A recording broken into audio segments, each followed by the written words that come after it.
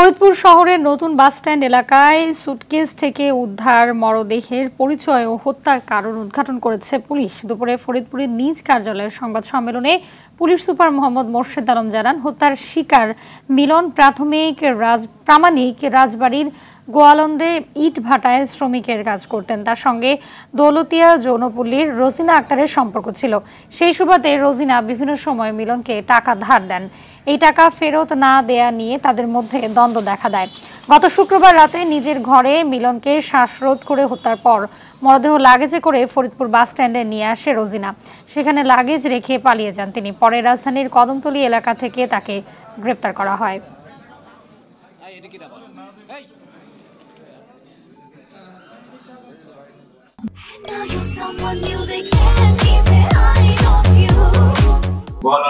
যে পতিতালয় আছে সে পতিতালয় থেকে একটা ছেলে মাথায় করে একজন মহিলা ছেলেটাকে করে এবং মাথায় করে ছেলেটার মাথায় করে রিক্সাতে আসে। আসামি এটা স্বীকার করে যে আসামি তার সাথে এর আগেও অনেকবার রিলেশন করে।